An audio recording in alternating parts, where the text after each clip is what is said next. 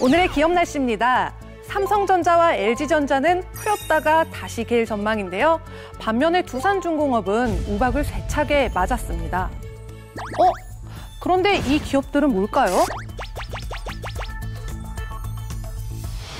이름도 몰랐던 숨은 알짜 기업. 그냥은 알기 어려운 숨은 쟁주들. 필살기 해외 투자에서 모두 알려드리겠습니다. 필살기 해외 해외 투자. 투자.